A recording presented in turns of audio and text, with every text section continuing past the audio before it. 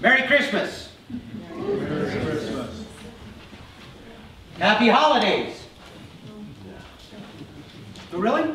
You have a problem with that? What did I just tell you? I wished you to have a happy, holy day. And of all the days in the year, I can think of only one that would be more holy than the birth of our Savior, Jesus Christ. Only one. Possibly two.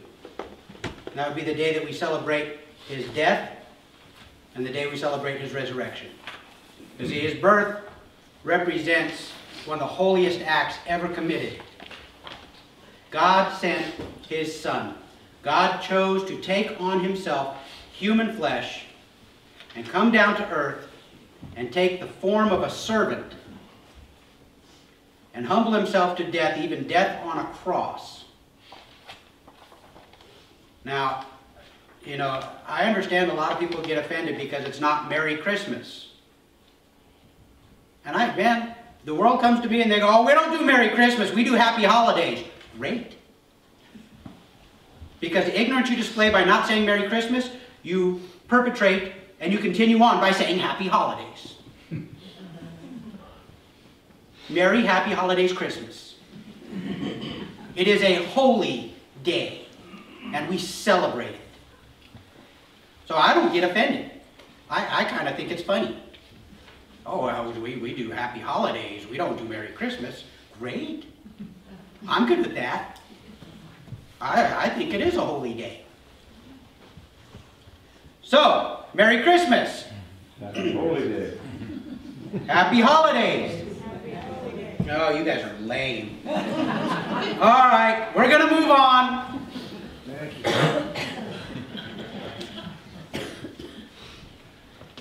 We're going to continue uh, in our series, Fruit of a Life Led by the Spirit. And we're actually in the midst of a message that I started uh, several weeks ago. Uh, just to kind of catch everybody up, I'm going to, we're reading out of Galatians chapter 5. I'm going to start in verse 16. Galatians chapter 5, verse 16.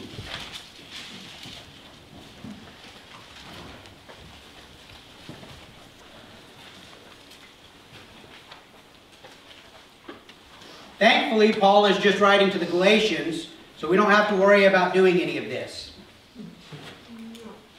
Thank you for that. Because you see, all Scripture is God breathed. Right? All Scripture is God breathed and useful for what? Yeah, teaching, correcting, rebuking, training us in righteousness. So don't let the titles fool you. Okay? Don't, don't let that cause you any stumbling block. When it says Galatians, it's talking to you. Okay? It's speaking to me. When it says Titus, uh, we still pay attention. Okay? God is speaking through these to us. So, Galatians chapter 5, verse 16.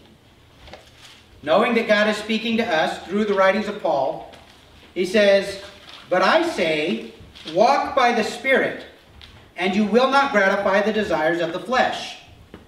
For the desires of the flesh are against the Spirit, and the desires of the Spirit are against the flesh. For these are opposed to each other, to keep you from doing the things you want to do.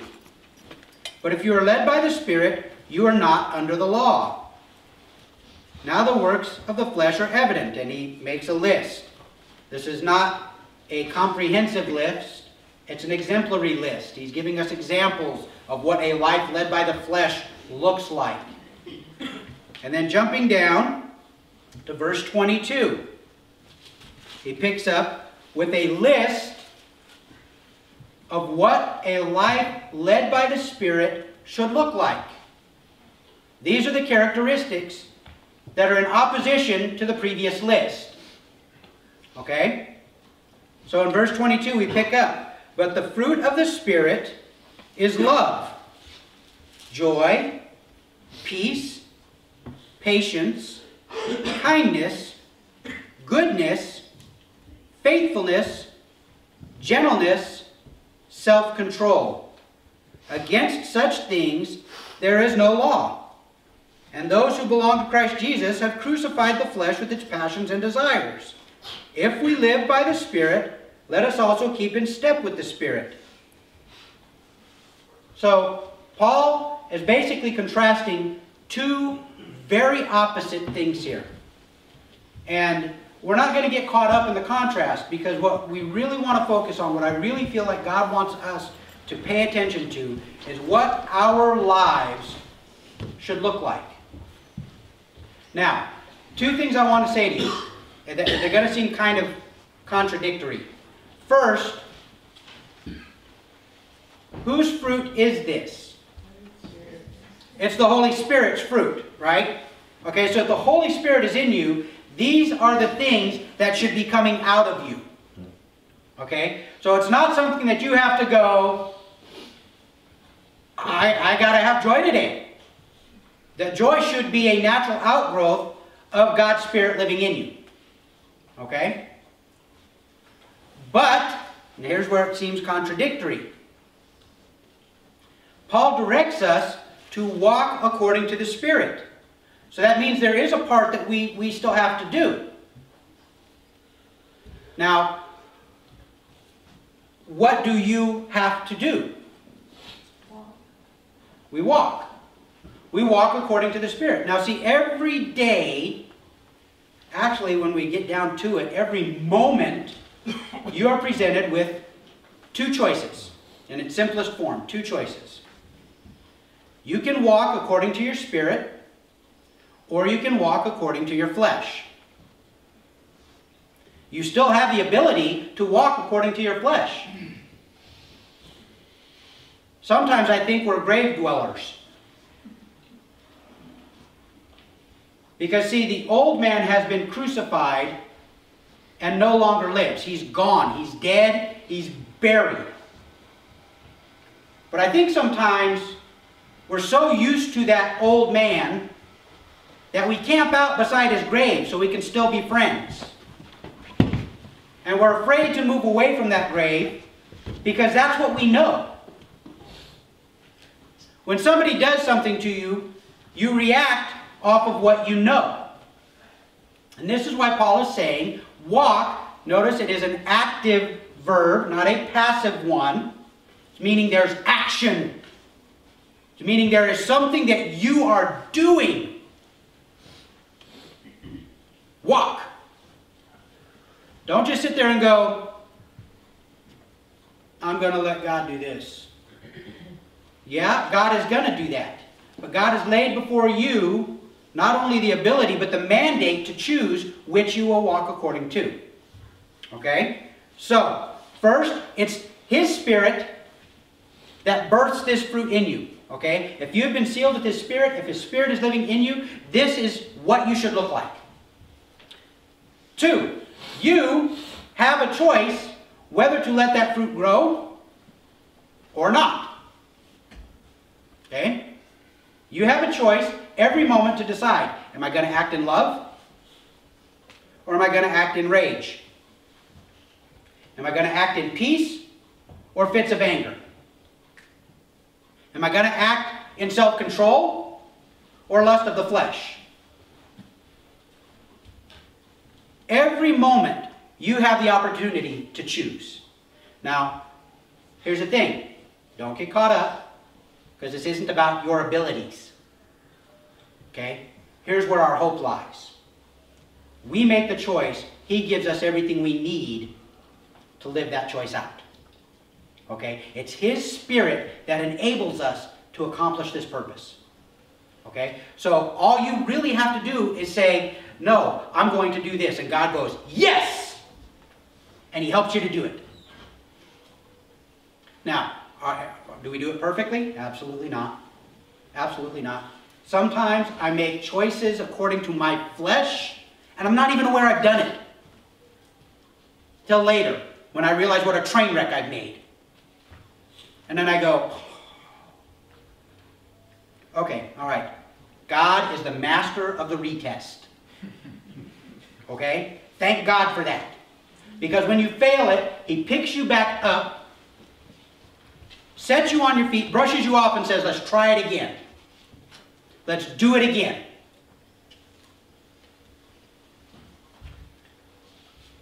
So we have talked about love and joy and peace, which I think is ironic considering the season we're in.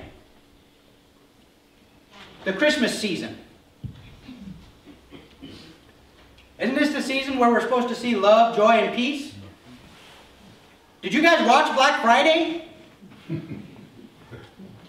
there was love, joy, and peace in my house because we weren't there. I was, I was still eating Thanksgiving stuff and more. Love, joy, and peace. Now, if you look on the, the front of your bulletin, there's a scripture that I put on there. Oops.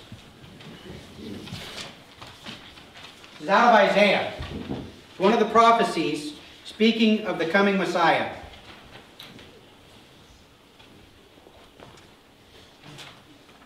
And it gives us a list of names, a list of titles that he will have.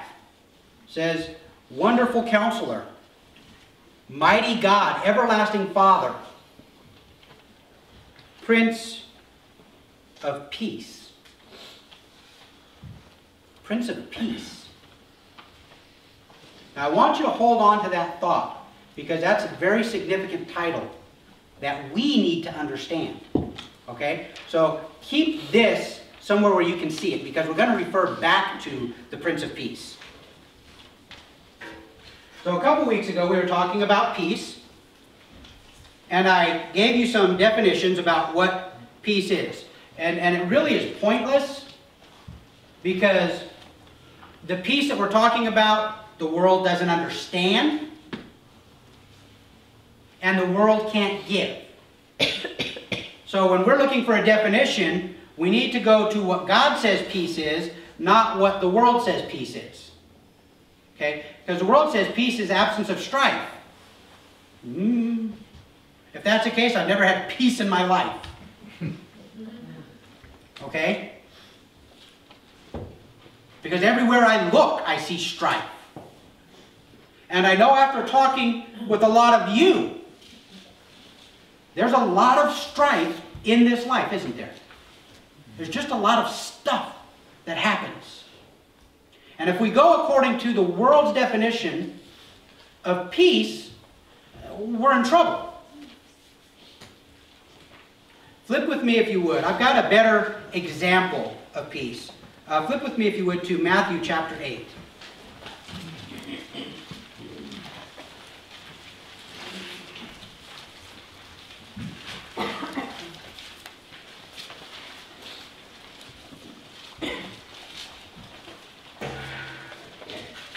Matthew chapter 8.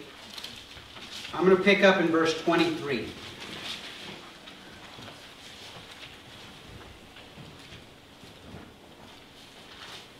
And when he got into the boat, his disciples followed him. And behold, there arose a great storm on the sea, so that the boat was being swamped by the waves, but he was asleep. And they went and woke him, saying, Save us, Lord, we are perishing. And he said to them, Why are you afraid, O you of little faith? Then he rose and rebuked the winds and the sea, and there was a great calm. And the men marveled, saying, What sort of man is this, that even the winds and sea obeyed him? Now flip with me, if you would, over to Mark chapter 4.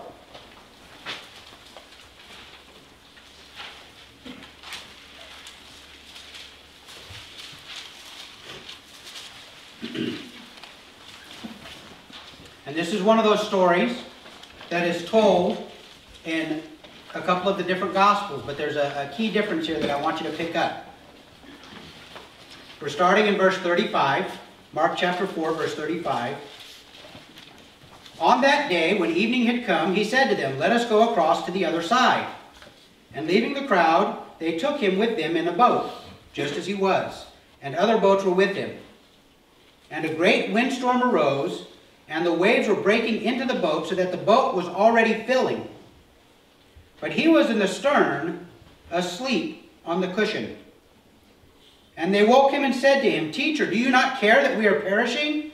And he awoke and rebuked the wind and said to the sea, Peace, be still. And the wind ceased, and there was a great calm. He said to them, Why are you so afraid? Have you still no faith? And they were filled with great fear and said to one another, Who then is this that even the wind and the sea obey him? Now there's a couple things that I want to point out in these stories. First, I believe God is giving us a perfect example of what peace looks like. Because the disciples are in the boat and they're headed across to the other side of the Sea of Galilee. And Jesus lays down in the back on a cushion and goes to sleep. And the winds come up, the waves are ginormous, they're swamping the boat, okay? And, and you got to wonder, you know, we know several of these men were fishermen, and those are the guys that are probably trying to steer the boat and keep it floating. And poor guys like Matthew, the tax collector, are using cups and bailing water because they don't trust him with an oar. And these are men, keep in mind, a lot of whom grew up on that sea. Do you see what it says? They were despairing of their lives. Teacher, do you not care that we are perishing? Did Jesus care? Do you think Jesus cared? Yeah. Do you think Jesus thought they were perishing? No. But Jesus wasn't fazed. Now, I don't know about you guys. Some of you guys have been on boats a whole lot more than I have. But, um, you know, big waves, uh, man, on the size of boat that they're on, I couldn't sleep. You bounce. And Jesus was sacked out in the back. A perfect example of peace because the storm was raging all around them. And not only was the storm raging all around them, but all the people with him were panicked. What do we do? What do we do? Go wake the master. Now, how'd you like to be that disciple? You still have so little faith? He always wakes up cranky. Every time we wake him up, he chews us out. I know, they, they delegated Peter for this stuff. He was used to it. Wake him up. Wake him up. And he gets up, and he rebukes the wind and the storm, and there was a great calm. There's peace again. But you see where the peace emanated from? Could they have calmed the storm? Maybe. I think it was an object lesson. I think Jesus was using that as an object lesson to teach them to trust God, to have faith, to build their faith. He wasn't showboating. I think he was expecting one of them to take care of it. I really do. I think Jesus was in full expectation that one of them would try and step up, just like Peter getting out of the boat and walking on the water. I think that was his hope. And he gets up and rebukes, and there's great calm. But you see where the peace emanates from? First, he's asleep. He has peace. It is within him. And then the peace that he has, he uses the authority that God gave, and he calms everything around him. Isn't that a marvelous picture of peace? Isn't that incredible? So, so how do we get this peace? now, we've talked about a couple of things. First, the world cannot give it to you. So turn off Oprah. She doesn't have it, she can't give it. Okay? Quit looking in self-help books. Quit looking on your talk shows. Quit looking in your meditation and your trance-like states. You can only find it one place. And that's in Him. That's it. That's the only kind, the only place that you can find this kind of peace. Okay?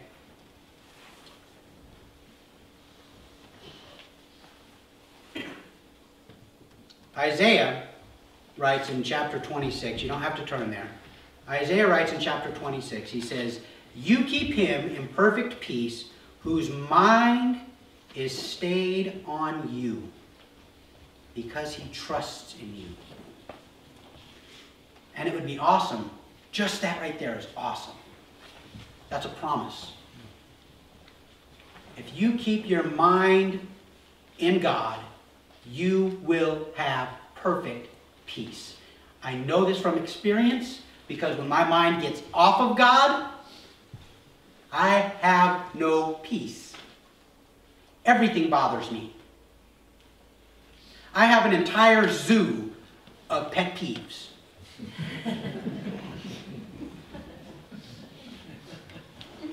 and they come in all sizes and shapes.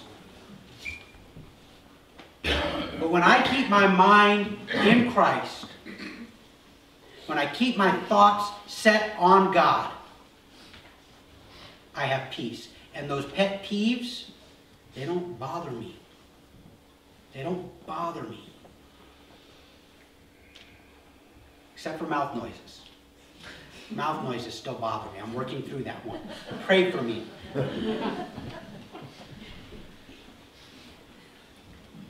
But he doesn't end there. He says, trust in the Lord forever. Why? Why should we trust in the Lord? He says, for the Lord God is an everlasting rock. Now, depending on how you grew up and what you think, a rock could be a negative term. My brother, he used to call me a rock, and that was not complimentary. He was referring to my lack of ability to figure things out that he could which happened twice. Okay, maybe more than that. And he'd go, man, you're a rock. Okay, that was not, he was not telling me like good things. It was bad things. That's not what this is talking about. Matter of fact, the rock that he's talking about, uh, in one example, in the Psalms, it says that it's a rock in the desert where you will find shade.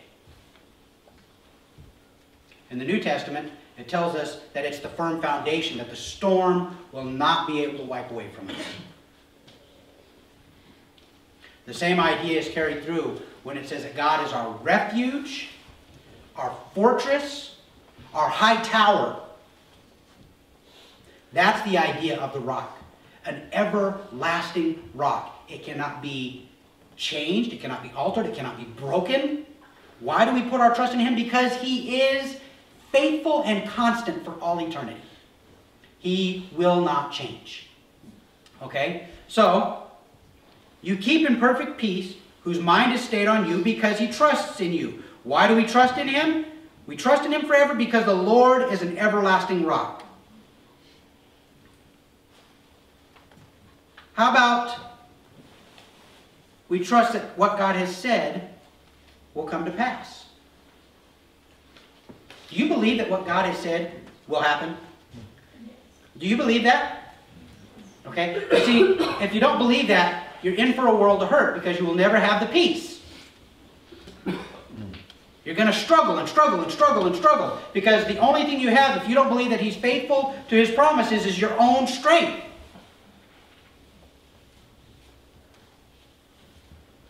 John 16 33. Jesus is speaking. He says, I have said these things to you that in me you may have peace. In the world you will have tribulation. But take heart, I have overcome the world. Now, I, I, get really frustrated with this idea that you become a Christian and life is a, a bed of roses. Uh-uh. That's not what he said. As a matter of fact, Jesus said, if you become one of his disciples, the world is going to hate you like it hated him. Okay? And he says it's going to be hard. Matter of fact, we're told to expect persecution, to expect trials, to expect tribulation. Some of them because the world hates us, some of them because God loves us. Do you understand that? Some of the hardship you go through is because God loves you? What are you talking about? I'm talking about the fact that God does not want you to stay an infant for the rest of your life. God wants you to grow up, to be mature and complete and not lacking anything. Not lacking anything. He wants you to have it all. So he lets trials come into your life. Now, what's the difference between a trial and a temptation? You. Your success or failure. I'm convinced of that. I earnestly believe that the only difference between a trial and a temptation is how you respond to it and whether or not you succeed. Now keep in mind, you always succeed because God is the master of the retest. You fail this time, he's going to bring it around again, and again, and again, and again. Until you pass it. And then guess what? You graduate to the next test. Okay? And each test is going to bring you more and more maturity and more and more completeness because you're going to rely more and more on Him to take you through it.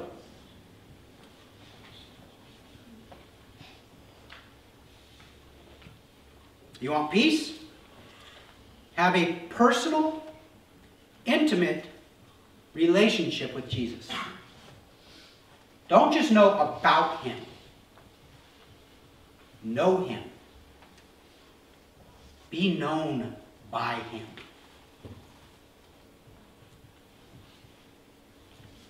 I can tell you a lot of things about a lot of people just because I know about them. I can tell you a lot of things about President Obama, but I don't know him. As far as I know, he doesn't know me.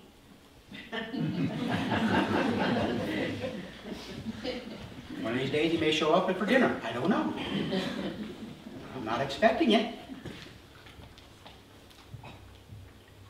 Have a personal, intimate relationship with Jesus. says in Ephesians chapter 2, says, For he himself is our peace. He himself is our peace. Jesus. You get that? That's, that's the peace that the world can't understand. It's him. Do you ever think about studying God's Word so that you might have peace? Do you ever think about that? Do you know that's a way that you can get peace? See, all of these things work together, we're going to talk about that in a minute. But studying God's Word. In uh, Psalm 119, how many of you like Psalm 119? I like Psalm 119 because I understand the law. The law to me is easy. You do this, you don't do this. Great! It's when he says you got to move according to his spirit that I go, could you put that in black and white? Okay? And I, I struggle with that because there's a lot of it that changes from situation to situation because God will have me act this way in this situation and act this way in this situation. And I look at both situations and man, if I had the law, I'd know exactly what to do. Psalm 119 says, Great peace have those who love your law. Nothing can make them stumble. Now, I honestly, I believe that when the author penned this, he was saying the law as in the Torah, the original five books, but I believe God's intent is the perfect law that gives freedom, not the law that brings death. Okay? So I'm not telling you to go back and memorize the first five books of the Bible. I'm not telling you to love the law that leads to death. I'm telling you to love the law that leads to life. You're not sure what I'm talking about? Take a little bit of time, read through Romans and Galatians. Okay? Take a little bit of time and find out what the difference between those two laws is. Okay?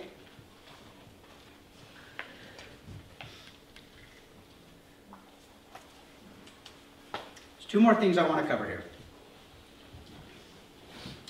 God has given us a very simple formula, if you will, for lack of a better term, to how to get peace. Now, the first thing we need to understand is that the peace that we're talking about, the fruit of the Spirit, comes by His Spirit living in us. That's the part that He's given us. But there's the part that we're responsible to do, the part that is dependent on us, the choice we get to make to walk according to that Spirit by spending time with Him, by spending time in His Word, by doing this in Philippians chapter 4. You guys have probably heard this. You'll remember this because it's one of my favorite passages. Philippians chapter 4, starting in verse 4. It says, Rejoice in the Lord always. Again I will say, Rejoice. Let your reasonableness be known to everyone. The Lord is at hand. Do not be anxious about anything. But in everything, by prayer and supplication, with thanksgiving, let your requests be made known to God. Okay, see, this is our part. Don't be anxious. Now, I know some of you have a really easy time not being anxious. I don't understand it, but I see it.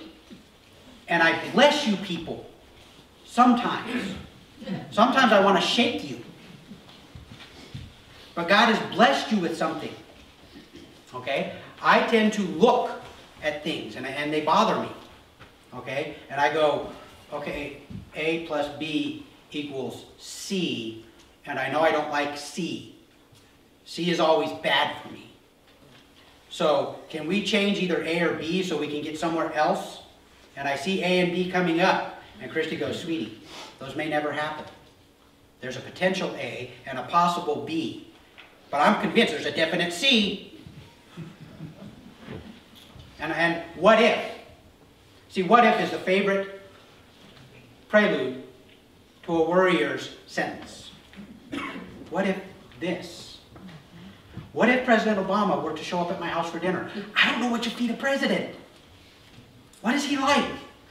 I don't. Uh, now I got to study. Christy, we got to have this on hand in case he shows up. What is he like? Uh, some of you could probably tell me, huh?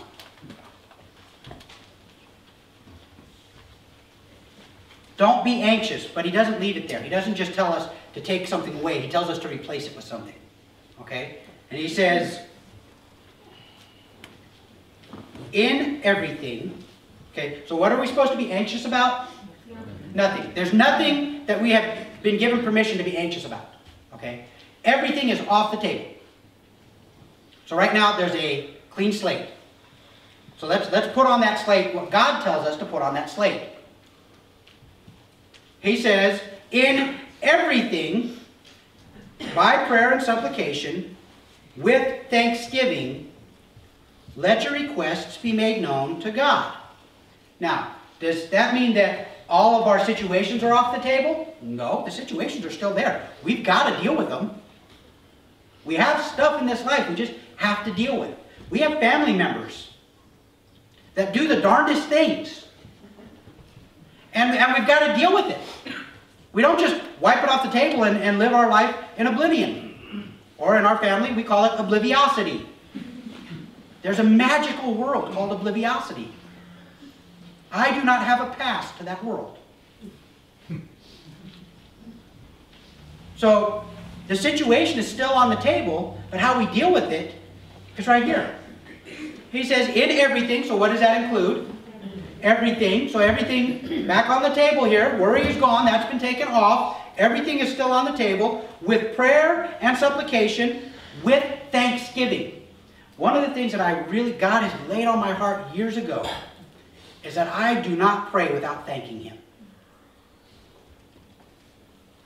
I don't pray without thanking Him.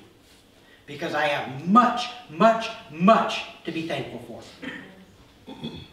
And when I start thanking Him for all the things that He's done for me, all of a sudden I realize all the, the these other things, I can trust him with those.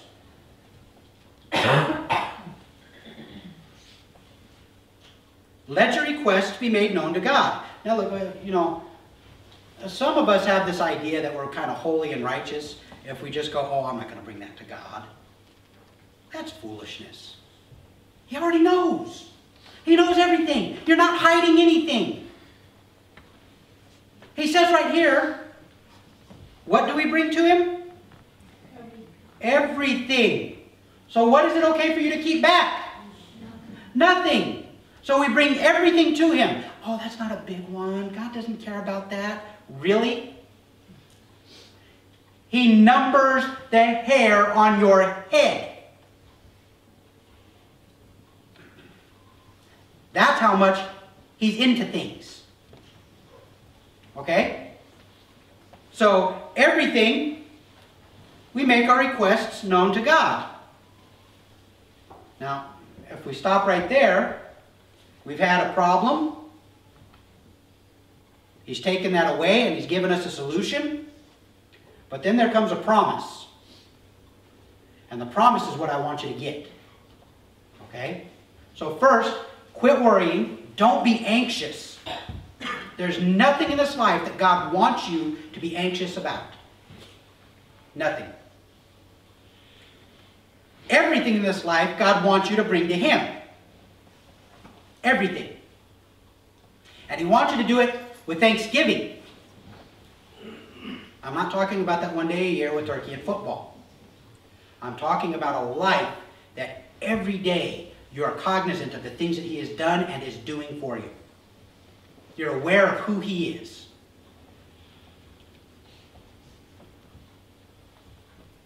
And here's the promise if you do this, God will do this. Okay?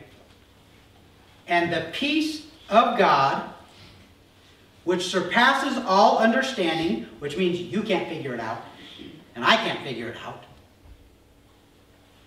will guard your hearts and your minds in Christ Jesus. Now, I think Paul specifically used hearts and minds. I, I, think he did that because he's talking about your emotions and your thoughts, your feelings and what you think. God will guard those in Christ Jesus. So when you're dealing with something that should cause you anxiety, God is going to guard your heart and your mind in that. And it's not going to cause you anxiety because you're going to have thanksgiving and He's going to give you peace. That's His promise. So we need to discipline ourselves to do this right. Now, how many here shoot archery?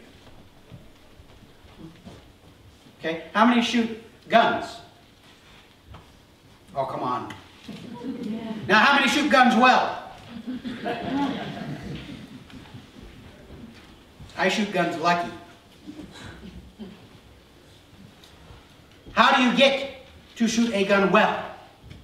Practice. Practice. Practice. Practice. You want peace? You have to practice the things that God has put in place for you to have that peace. And what is it? Giving everything to Him. Trusting Him and letting Him do it. All of these fruits come by spending time with Him.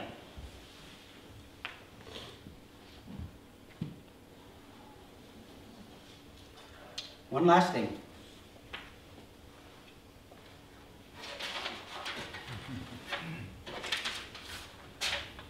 Remember this? Prince of Peace? He is the Prince of Peace. John chapter 14. Go ahead and turn there, John chapter 14.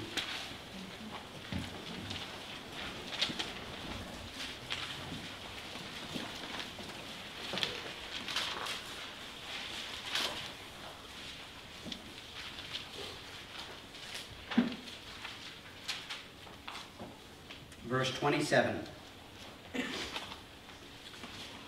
Jesus says, Peace I leave with you.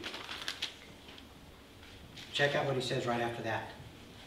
My peace I give to you. Not as the world gives, do I give to you. Let not your hearts be troubled, neither let them be afraid.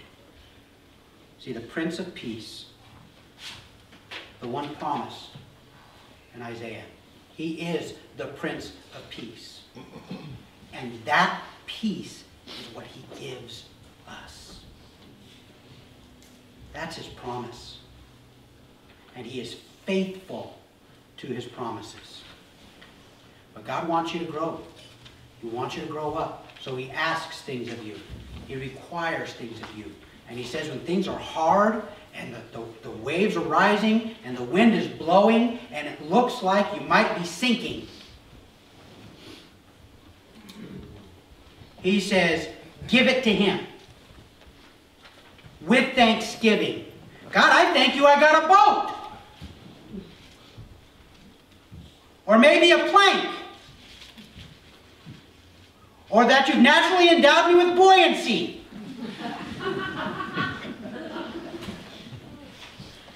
You give thanks. And he promises you that his peace will be there. His peace. Not the world's peace. His peace. Amen? Amen? So let's meditate on that. Let's contemplate that. This season, this season of peace that the world I hear all around us. Oh, uh, you know, it's a peaceful season and da da da da da. Man, watch the news, people. Look at what the world has to offer for peace. Let's look at the one that is the author of peace, the, the, the Prince of Peace. That's his promise to us. Father, we bless you today. I thank you, God, that your Spirit lives in us. Father, when you took Jesus home and he ascended to his rightful place at your right hand, you did not leave us alone, but you sent your Spirit, sealing us until redemption is complete, marking us as your own, teaching us, instructing us, comforting us. And the natural outgrowth of this, Father, are your fruits in our lives. Agape love. Completely unconditional. Based on the giver, not the receiver. Based on you. Joy. Just by spending time in your presence, we have joy that is unspeakable and full of glory. And peace that the world can neither give nor can the world understand. Thank you, Father, for these and all the others we've yet to look at. We bless you, Father, in Jesus' name. Amen. Amen.